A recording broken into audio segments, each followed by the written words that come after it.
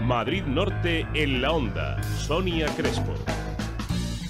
Varios colectivos animalistas han querido poner eh, el punto de mira en la futura ley de protección y bienestar animal que se pretende aprobar en Castilla-La Mancha. Denuncian que los perros de caza serían los grandes olvidados de esa protección, desprotegidos, es como se quedarían, y por eso han comenzado una campaña internacional contra la Consejería de Agricultura y Medio Ambiente de Castilla-La Mancha a través de vídeos, de recogida de firmas eh, eh, mediante la plataforma change.org. Para hablarnos de este tema tenemos al otro al teléfono a Matilde Cubillo, que es presidenta de FAPAM, que es la Federación de Asociaciones Protectoras y de Defensa Animal de la Comunidad de Madrid, y a quien vamos a preguntar ya. Matilde Cubillo, ¿qué tal? Muy buenas tardes. Hola, buenas tardes. Como decimos, uno de los eh, animales pues eh, más desprotegidos o que más protección necesitan habría quedado olvidado por esta por esta ley. ¿Cuál es la denuncia que hacéis?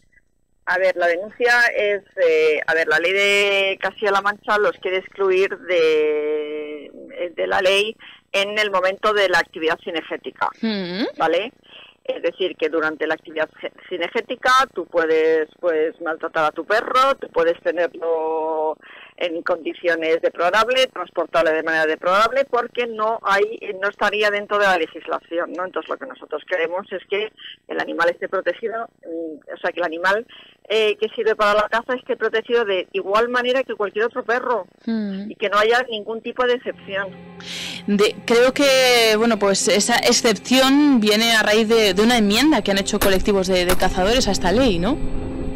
Claro, o sea, lo que, lo que digamos que en, la ley, la redacción de la ley, en el borrador, lo que se dice, hay un apartado que dice, bueno, pues que se tendrán que tomar las medidas para que eh, tu perro no sufra ningún tipo de daño, o sea, que tú tienes que proteger a tu perro.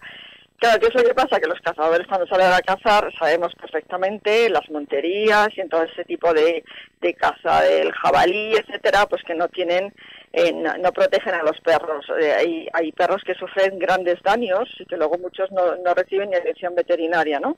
Entonces ellos lo que no quieren es que eh, ese punto, ese artículo de la ley vaya contra ellos en el momento en el que están cazando, ¿no?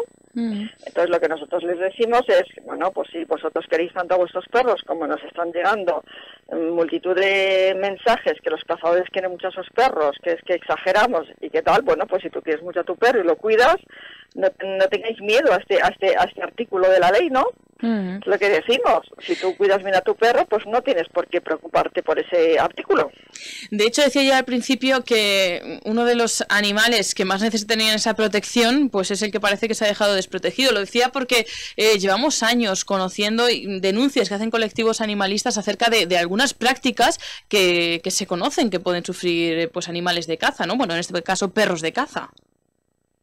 Claro, efectivamente, o sea, yo creo que es conocido por todos, hay infinidad de imágenes, de hecho el, el vídeo que hemos sacado nosotros, en, que está en español, en alemán, en francés y en inglés, todos son imágenes exclusivamente de Castilla-La Mancha, con noticias de prensa, donde eh, no solamente que nosotros las asociaciones recogemos animales en malas condiciones, perros de caza eh, hablo, sino que hay pues intervenciones de Guardia Civil, eh, de animales de caza, de perros de caza de Castilla-La Mancha, o sea que yo creo que todos somos conscientes de, la gravedad de, de, los maltratos que sufren estos animales mm. durante toda su vida, en las instalaciones en las que los mantienen, que evidentemente hay cazadores que cuidan a sus perros y los tienen en casa, pues sí, pues que los habrá, pero la gran mayoría, y lo vemos día a día, pues mm, como digo, desde, desde que en su día a día hasta el momento en el que ya no sirven para la caza, pues la manera que tienen de deshacerse de ellos, pues eh, ahorcándoles,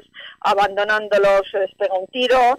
O sea, las asociaciones desgraciadamente eso lo vivimos día a día. Nadie nos puede decir que eso es mentira, como quieren hacernos ver. O sea, yo no me invento cuando me encuentro un perro de caza con un tiro. O sea, yo no me lo invento ni el resto de compañeros, no nos inventamos esas cosas.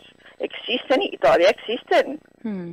Y esa práctica, por ejemplo, si se justifica que ha sido en el momento de la actividad cinegética, quedaría excluida de esa protección, como decimos. Ah, claro, a ver, si no es tiene una gravedad en la que se pueda denunciar como delito, que bueno, pues que también la redacción del Código Penal eh, tiene que ser una crueldad extrema, pues si no, no quedaría impune. Hmm. O sea, tú ahora mismo, eh, la Guardia Civil mismo ve a un individuo pegándole patadas a un galgo, por ejemplo, por, por, poner un ejemplo, evidentemente, si no lo revienta, no estaría considerado un delito, pues no podría absolutamente tomar ninguna medida contra ese cazador. Mm. Porque quedan en el limbo en ese momento los... Mm.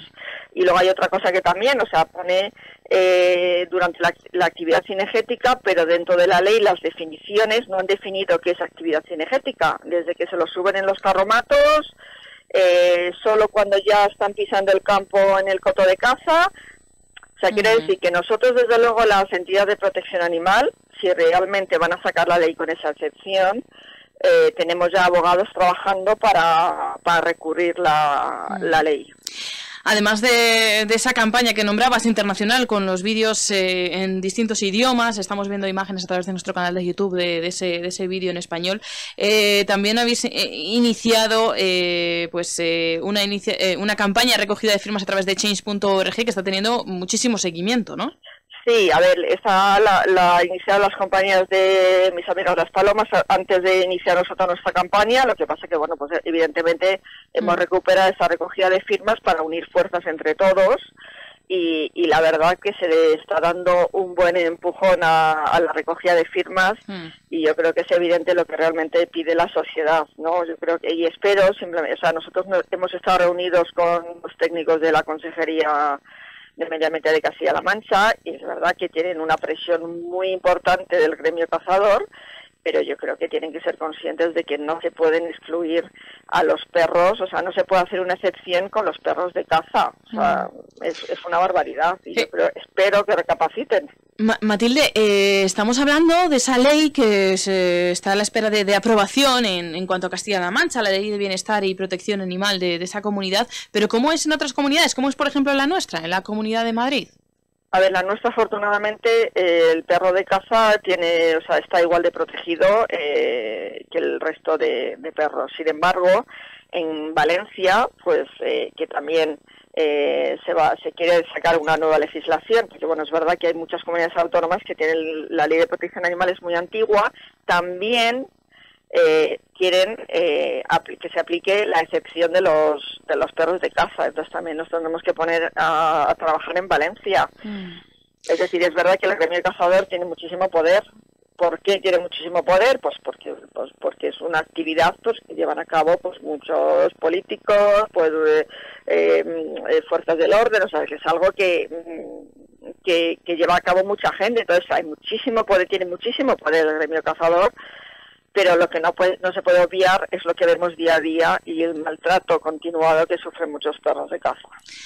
Pues Matilde Cubillo, presidenta de, la Federación de Asociaciones Protectoras y de Defensa Animal de la Comunidad de Madrid, de FAPAM, eh, junto con Justicia Animal, también la Sociedad Protectora de Animales y Plantas, la Asociación eh, de la, Plataforma No a la Caza con Galgos y otras razas, y muchos otros colectivos están detrás de, esta campaña internacional contra esa, esa ley que quiere aprobar la, bueno, pues Castilla-La Mancha, la región de Castilla-La Mancha.